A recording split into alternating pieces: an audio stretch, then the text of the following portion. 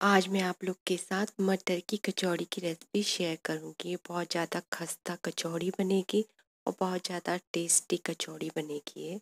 ये हलवाई से भी ज़्यादा टेस्टी कचौड़ी बनेगी। ये घर पे बनाएँगे तो आप। बहुत खाने में यमी लगती है, इसके लिए मुझे, मैंने लिया है आधा कटोरी मटर। और इसको मैं पीस लूँगी मिक्सी जार में। और इसमें मैं डालूँगी चार हरी मिर्च। चार हरी मिर्च है इन्हें तोड़ के मैं डाल दूँगी इसमें। और देखो, मैंने इन्हें पीस लिया है।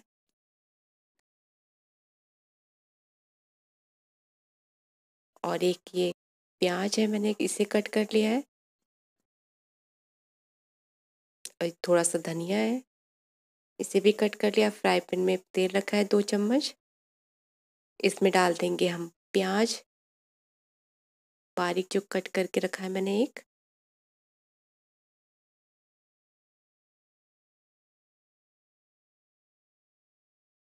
अब इसमें डाल देंगे थोड़ा सा जीरा। आधा चम्मच मैंने जीरा डाल दिया इसमें। इसे दो मिनट के लिए हम भूनेंगे, इससे ज़्यादा नहीं भूनना है हमें।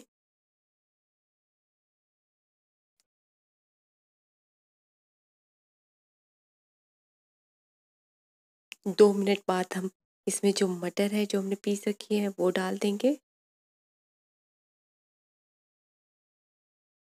और पाँच सेकंड तक हम इसे ऐसे भूनेंगे इसे।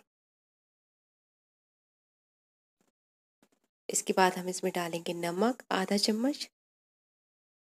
आधा चम्मच चाट मसाला और थोड़ी सी हम इसमें डालेंगे हींग।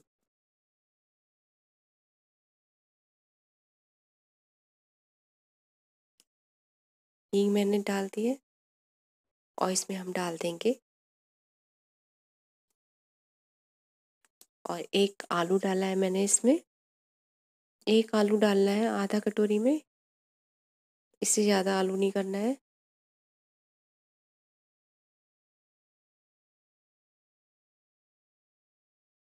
और इसमें हम डाल देंगे छोले मसाला। आधा चम्मच में इसमें छोले मसाला डाल दूँगी और देगी मिर्च डाल दी इसमें। इससे अच्छा कलर भी आ जाएगा। और चटपटी भी हमारी कचौड़ी बनेगी। और इसमें जो हरा धनिया है, मैंने गैस की फ्लेम को कर दिया है बंद और इसमें डाल दिया हरा धनिया। इसे ठंडा होने देते हैं, जब तक हम इसका डो लगाएँगे। डेढ़ कटोरी मैदा लिया है मैंने इसमें। और थोड़ी सी अजवाइन डालेंगे इसमें। थोड़ा सा इसमें डाल देंगे नमक। इसमें डालेंगे ऑर्गेनो। इससे बहुत ज़्यादा टेस्टी बनती है हमारी कचौड़ी। और इसमें मैंने आधा कटोरी से भी कम मैंने घी लिया है देसी घी।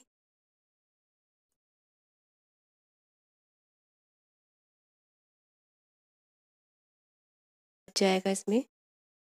मैं पाँच चम्मच इसमें डाल दूँगी ऑयल के।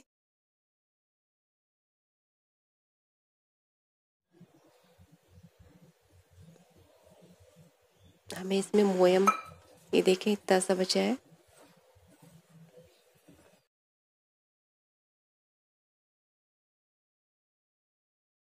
हमें ये अच्छे से मिलाना है, देखें, बिल्कुल एक मुट्ठी ऐसी बन जाएगी बस ये परफेक्ट है हमारे लिए कचौड़ी के लिए। तो अब डो बनाएँगे अच्छा सा डो बना देंगे इसका।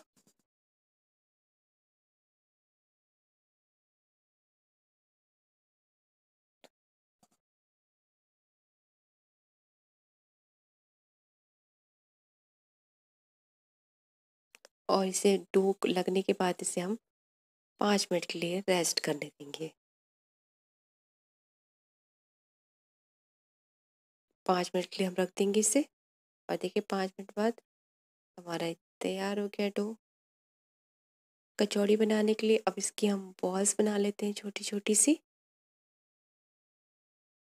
सब मैंने एक ही साइज़ की बॉल्स बना दी है। ऐसी सब बना लूँगी मैं। अब बनाऊँगी कचौड़ी। ये देखें बॉल ये लिया मैंने, इसे बेल लूँगी पूड़ी की तरह।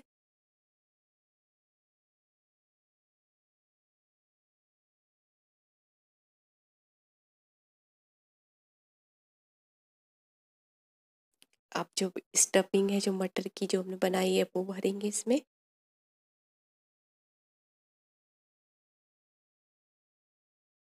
देखिए मैंने भर दिया इसे और फिंगर की सहायता से इसे बंद कर देंगे।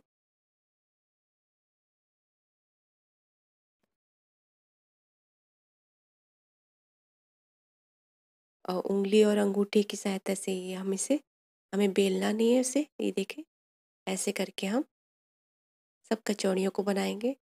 जहाँ से खुलेगी, वहाँ से अंगूठे और उंगली की सहायता से इसे लॉक कर देंगे हम।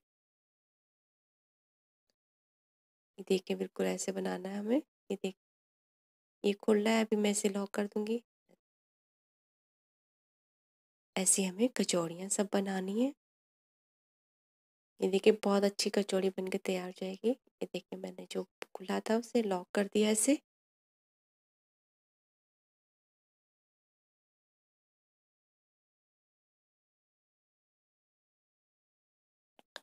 ये बहुत अच्छी कचौड़ी बन के तैयार होती है। ये समोसे भी से भी ज़्यादा, बहुत ज़्यादा टेस्टी कचौड़ी बनती है। ये देखिए मैंने कर दिया अच्छे से लॉक, ये बन गई हमारी कचौड़ी।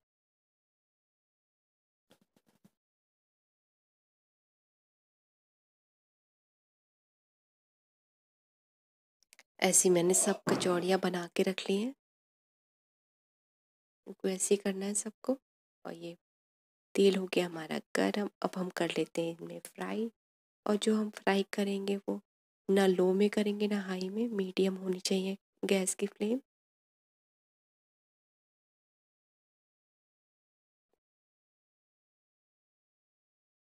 एक एक करके मैं सब डाल दूँगी इसमें। गैस की जो फ्लेम है वो मीडियम है। अगर हाई करेंगे तो बाहर से क्रिस्पी हो जाएगा अंदर से कुक नहीं होगी।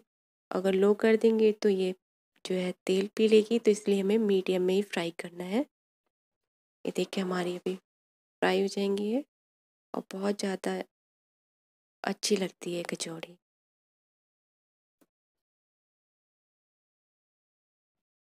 इन्हें हम पलट देंगे। ये देखिए हमारी बन गई कचौड़ियाँ।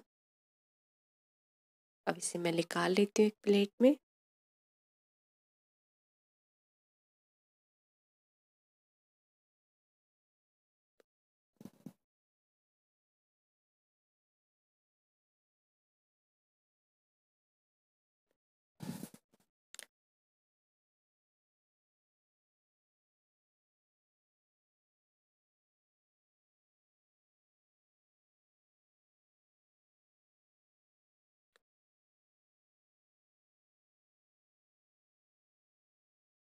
और बहुत ज़्यादा देखो सॉफ्ट बहुत अच्छी सी कचौड़ी बन गई हमारी क्रिस्पी कचौड़ी बनी है, देखो। बहुत ज़्यादा गर्म है कचौड़ी। ये देखें। और खाने में भी बहुत ज़्यादा टेस्टी है।